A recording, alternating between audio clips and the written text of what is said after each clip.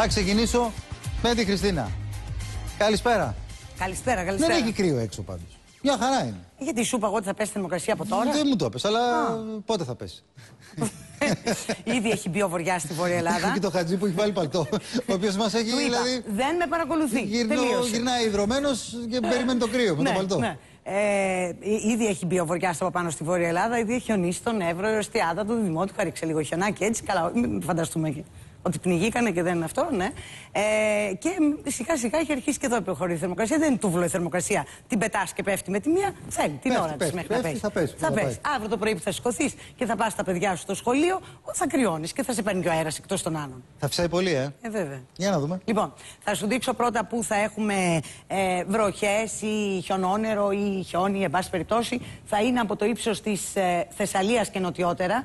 Ε, εκεί που βλέπεις την ε, Χαλκιδική, μπορεί νωρίς το πρωί ακόμα από το βραδινό, το, από το πέρασμα δηλαδή του μετόπου, να έχει προς τη Χαλκιδική χιονόνερο ή λίγο χιόνι στα ορεινά ή μειωρινά. Και στη συνέχεια Θεσσαλίας, Σποράδε, Ανατολική Στερεά, Εύβοια, Ανατολική Πελοπόννησο, Κυκλάδες, Κρήτη, Κινησιά, Ανατολικού Αιγαίου και Δωδεκάνησα, βροχές ή χιονόνερο, χιόνι στα ορεινά και τα ημιορεινά. Περισσότερες χιονοπτώσεις θα είναι ε, στην ε, Θεσσαλία, Ανατολική Θεσσαλία, στην Εύβοια, στην κεντρική Στερεά και την Ανατολική Πελοπόννησο, Βορειοανατολική Πελοπόννησο, δηλαδή προς το Χελμό, Καλάβρητα κτλ.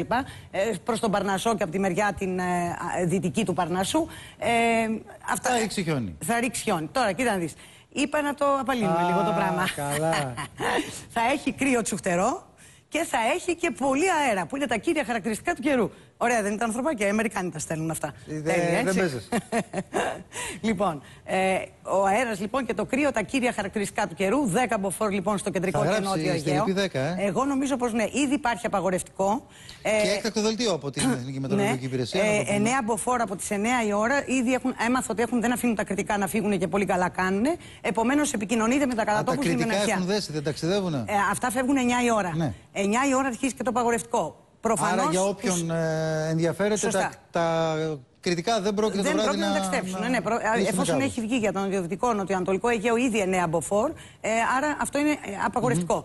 Σκανδαλώδης πώληση του Αστέρα Βουλιαγμένης. Αν και για την υπόθεση υπάρχει παρέμβαση της δικαιοσύνης, ο Αστέρας πουλήθηκε για 400 εκατομμύρια ευρώ. Για ψίχουλα, όπως εκτιμούν παράγοντες αγοράς ακινήτων. Γιατί θεωρούνται ψίχουλα, γιατί οι αγοραστές θα μπορούν να χτίσουν δεκάδες πολυτελείς βίλες συνολικής έκτασης 40.000 τετραγωνικών μέτρων από 8.600 τετραγωνικά μέτρα που προέβλεπε αρχικά ο διαγωνισμός. Ποιος αγόρασε τον Αστέρα, Άραβες και Τούρκοι, από την κοινοπραξία που συστάθηκε από δύο κρατικά φαντς από το Αμπου Ντάμπι και το Κουβέιτ, αλλά και από τον τουρκικό όμιλο Ντόγκους. Και λεφτά από τα ξενοδοχεία, αλλά και εκατομμύρια ευρώ από τις πολυτελείς βίλες.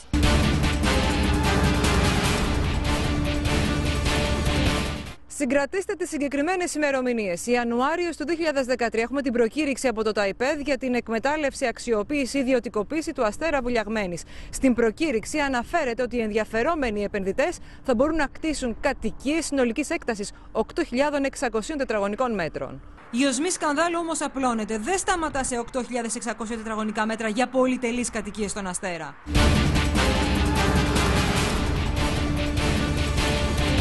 Και φτάνουμε στο Νοέμβριο του 2013. Από τους 13 αρχικά ενδιαφερόμενους καταθέτουν οικονομικές προσφορές οι τέσσερις.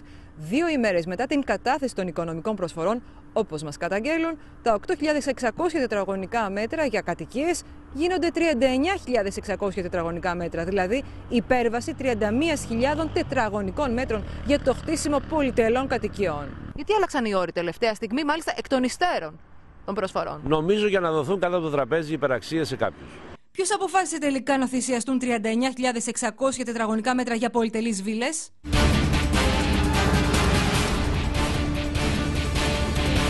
Αυτό που διερευνά πλέον η δικαιοσύνη είναι εάν το τουριστικό θέρετρο των 7 αστέρων με τα 308,2 στρέμματα, με το ξενοδοχείο Westin του πρώην Ναυσικά, με το ξενοδοχείο Αρίωνα, με το ξενοδοχείο Αφροδίτη, με το δικαίωμα χρήση της παραλίας αλλά και το δικαίωμα εκμετάλλευσης της Μαρίνας Βουλιαγμένης αξίζουν μόνο 400 εκατομμύρια ευρώ. Δηλαδή, γεννάται το ερώτημα: είναι ξεπούλημα ή όχι τα 400 εκατομμύρια των Αράβων και των Τούρκων, όταν η αξία του αστέρα βουλιαγμένης, σύμφωνα με την αντικειμενική αξία της περιοχής, ενδέχεται να φτάνει ακόμη και το 1,2 δισεκατομμύρια ευρώ. Εδώ πέρα υπάρχει μια δημόσια δήλωση, παύλα δέσμευση από την πλευρά της κυβέρνησης ότι το θέμα θα λυθεί, αλλά μέχρι στιγμής τρόπος να λυθεί το θέμα δεν έχει βρεθεί. Διότι πέρα από τις καλές προθέσεις, Όλγα, το θέμα είναι πρακτικό. Το θέμα αφορά μια οφειλή χιλιάδων καταναλωτών που δεν μπορούν να πληρώσουν, δεν αντέχουν να πληρώσουν ούτε ευρώ στη ΔΕΗ και η οποία ανέρχεται σε μερικές εκατοντάδες εκατομμύρια.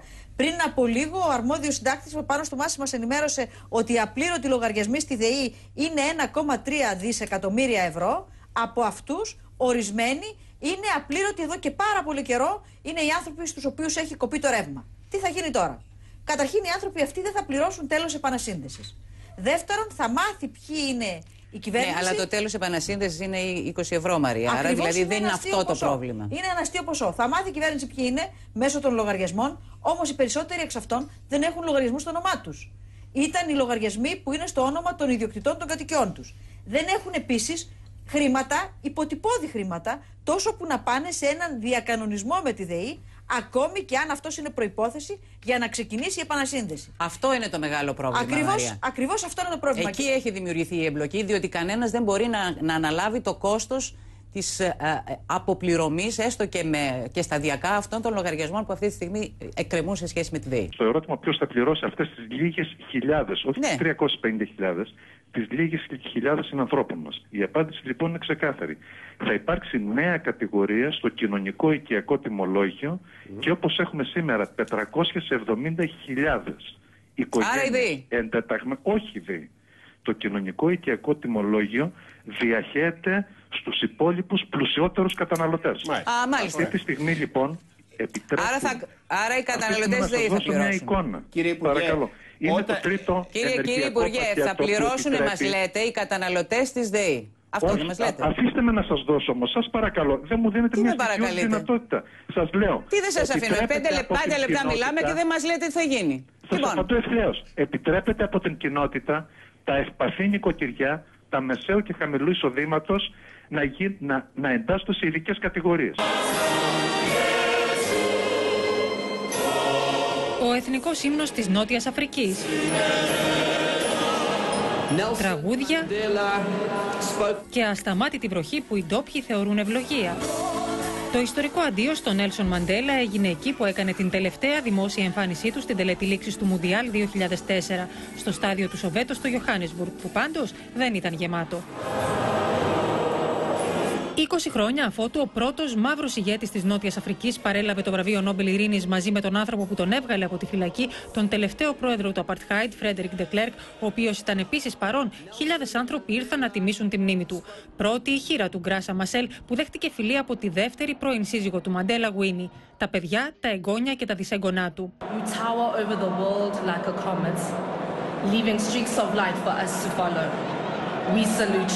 Το πλήθος υποδέχτηκε με ζητοκραυγές έναν άλλο πρώτο μαύρο πρόεδρο, τον Μπαράκ Ομπάμα. To the people of South Africa, the world thanks you for sharing Nelson Mandela with us. It is hard to eulogize any man. How much harder to do so for a giant of history. Ιστορική χαρακτηρίστηκε η χειραψία του Ομπάμα με τον ηγέτη της Κούβας, Ραούλ Κάστρο, στο πνεύμα της συμφιλίωσης που πρέσβευε ο Μαντέλα. Rendimos emocionado tributo a Nelson Mandela, a quien se reconoce como un profeta de la unidad, la reconciliación y la paz. Σχόλια προκάλεσε το ύφο τη Μισελ Ομπάμα, ενώ ο σύζυγό τη αστείευόταν με την πρωθυπουργό τη Δανία δίπλα του. Στους επίσημους τρεις Αμερικανοί πρώην πρόεδροι, ο Τζορτζ Μπους, ο Μπιλ Κλίντον και ο Τζίμι Κάρτερ. Επίσης ο Βρετανός Πρωθυπουργός Κάμερον, καθώς και ο πρόεδρος της Γαλλίας Ολάντ μαζί με τον προκάτοχό του Σαρκοζή. Κανονική μάχη εναντίον των νυχτερίδων έδωσαν οι αρχές της Αυστραλίας. Με καπνογόνα, μάνικες νερού και ελικόπτερα κατάφεραν να απομακρύνουν περισσότερα από 80.000 νυχτόβια θηλαστικά που είχαν μετατρέψει σε φιάλτη τις ζωές των κατοίκων του Charters Tower στο βόρειο Queensland. Χιλιάδες νυχτερίδες είχαν δημιουργήσει μια απικία σε ένα από τα πάρκα της πόλης και τα βράδια εξορμούσαν στα σπίτια, τρομοκρατώντας τους κατοίκους και δημιουργώντας πολλά προβλήματα.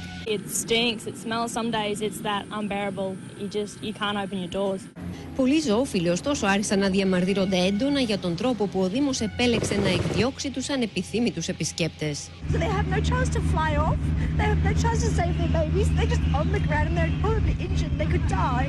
Για τις επόμενες δέκα ημέρες οι αρχές θα συνεχίσουν να χρησιμοποιούν την ίδια μέθοδο για να εμποδίσουν τις νυχτερίδες να επιστρέψουν.